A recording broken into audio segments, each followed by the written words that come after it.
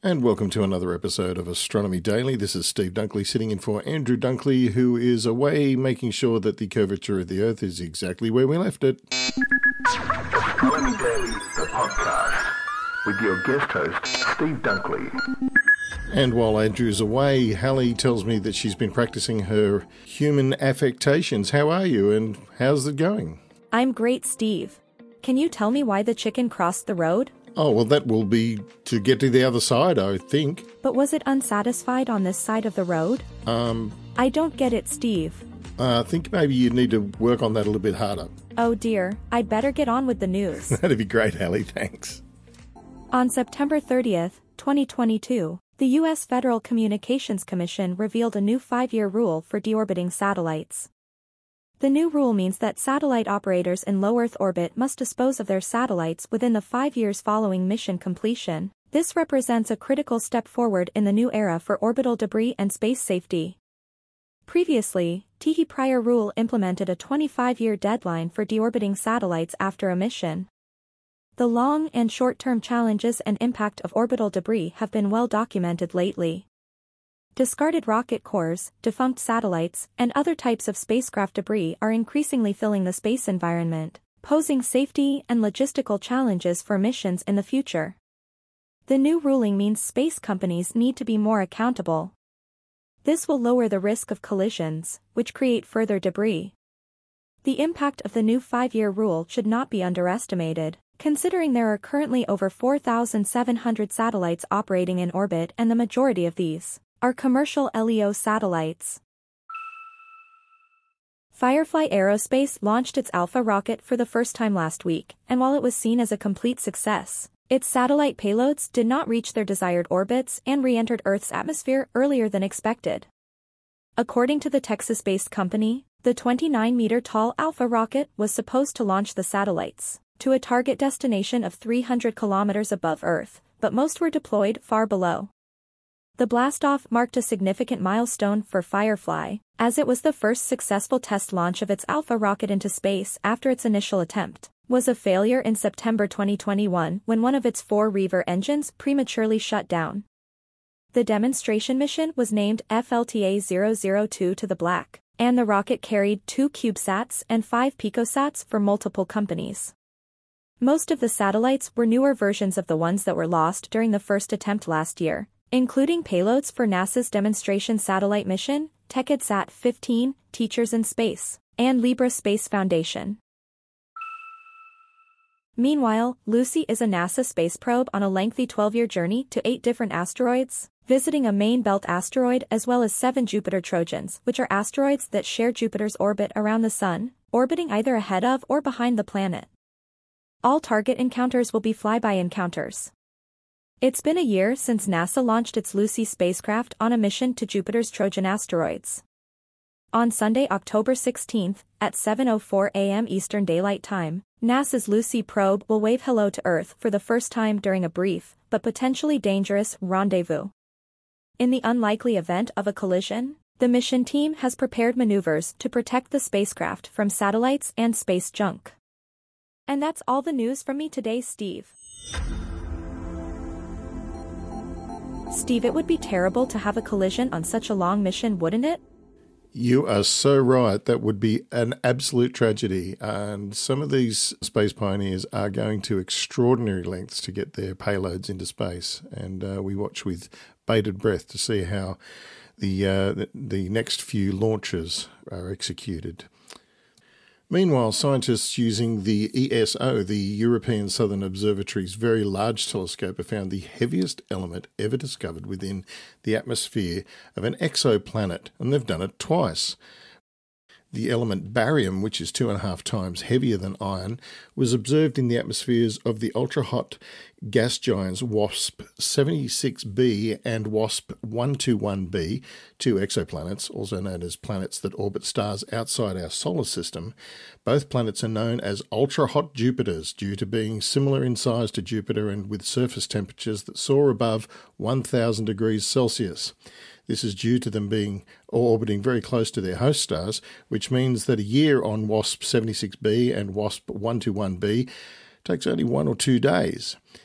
This close proximity gives these planets unique features. In WASP 76b, for example, astronomers theorize that it rains liquid iron.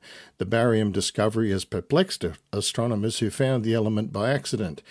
Thomas Azevedo Silva, a PhD student at the University of Porto, and the Instituto de Astrofísica de Ciências do Espaço in Portugal led the study published on Thursday in Astronomy and Astrophysics. We were not expecting or looking for barium in particular and had to cross check that this was actually coming from the planet since it had never been seen in any exoplanet before, Mr. Azevedo Silva said. The puzzling and counterintuitive part is why there is such heavy element in the upper layers of the atmosphere of these planets. Study co author Oliver uh, Demangeon expanded on why it was so unusual to find barium on these exo- exoplanets. Given the high gravity of the planets, we would expect to find heavy elements like barium to quickly fall to the lower layers of the atmosphere, he explained. The question for science scientists is what natural process could cause this heavy element to be at such high altitudes in these exoplanets? At the moment, uh, Mr. Demangeon said, we are not sure what the mechanisms are. Barium is so reactive it does not occur in its pure form on Earth, but can be purified and is used in paint, glass making, and to achieve a brilliant green colour in fireworks. Scientists say that the, the discovery of barium on these exoplanets is just scratching the surface of what can be learnt from mysterious planets. Now, have you ever heard of the Man in the Moon? Lots of people have. It's a, a I think there's a song that uh, we used to sing at, uh, at children's school. I can't remember what it is. But if you've ever looked up at the full moon and seen that face looking back at you, you're looking at the man in the moon. And have you ever wondered why our, our moon has a, a face? Is it just the song? Or is it just the, the the child's stories that we that makes it look like, or makes us think that there's a, a face?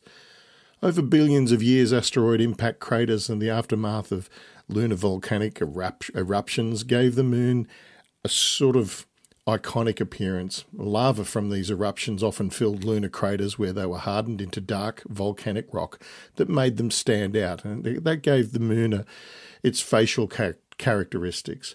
And that like- likeness has remained over the eons due to the absence of atmosphere and plate tectonics, which would have otherwise deformed or destroyed the moon's ancient geological features. Yahui Huang, a planetary scientist at MIT studies lunar craters and how the face of the moon came to be what it is now. Asteroids and fragments in the early history of the solar system were big because of planet forming events. He said, Impact craters of extraordinary size at the surface of the Moon about 4.4 billion years ago have left their mark, and shortly after, a Mars sized protoplanet named Theia collided with the young Earth, breaking off a huge glob of the planet that eventually became the Moon, it is thought. It was then that the moon began to get a facelift, according to John Fairweather, a doctoral student at the School of Earth and Planetary Sciences at Curtin University, right here in Australia. During this time, the orbits of the major planets asteroid belts and planetary rings were not yet stable, and rocks and material were being pulled and pushed in every direction around the Sun. Fairweather said the Moon's then fresh surface would have been heavily bombarded and scarred to the level we see today. Unstable orbits for the early solar system's various planets and space rocks meant that gravity was flinging objects in all directions.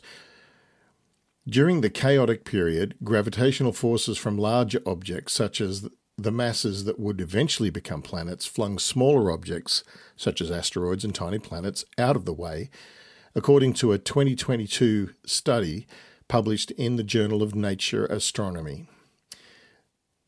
These smaller objects bombarded the solar system's bodies, including the Moon, and left their impressions behind. The Moon has experienced spikes and lulls in asteroid collisions, and it was pummeled during most during the first 1 billion to 100 million years of its existence. This uh, is a quote from Fairweather again. Then, some 900 million years ago, impacts started to decrease gradually as objects in the solar system stabilised, with their orbits becoming less erratic. However, the moon is pockmarked with more than just craters. Volcanoes used to erupt on the moon when it was young and temperamental between about 4.1 billion years and 3 billion years ago.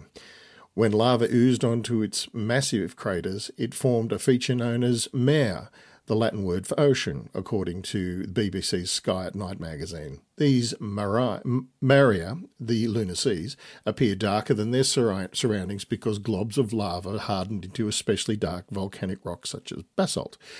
The Maria also took on uh, rounded shapes that vaguely resemble the features of human face. In terms of the human, uh, the, the moon's face, it is the most distinguishable feature we see from Earth, the dichotomy of the dark mare and the bright highland, Huang said.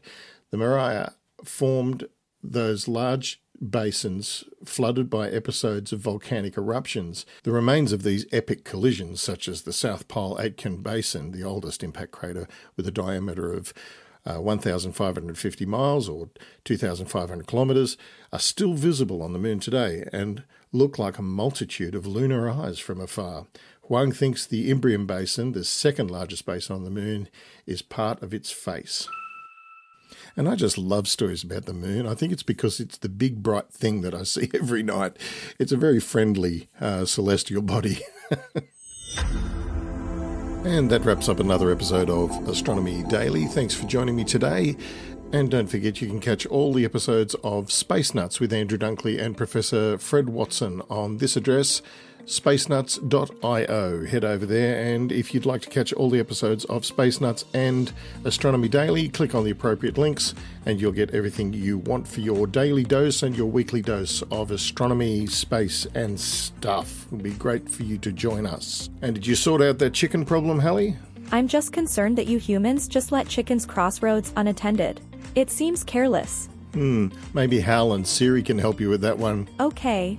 This is Steve Dunkley sitting in for Big Brother Andrew Dunkley, and we'll catch you on the next Astronomy Daily. See you next time, Steve. Astronomy Daily, the podcast, with your guest host, Steve Dunkley.